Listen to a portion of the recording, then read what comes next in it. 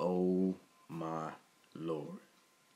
According to Boxing Kingdom, Deontay Wilder has hired Floyd Mayweather along with George Foreman to be in his corner for the third and final fight with Tyson Fury.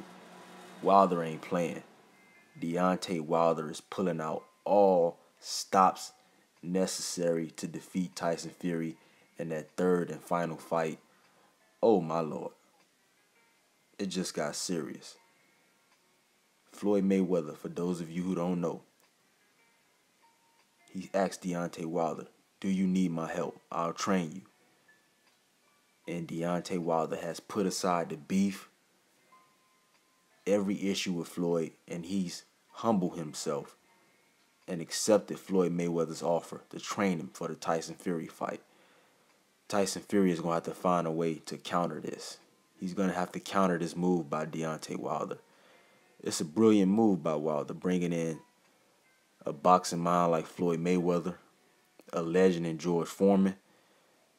Wilder is serious. He's showing me that he's serious about winning this third fight. You're bringing in Floyd Mayweather. Man, his third fight is this third fight is is shaping up to be huge.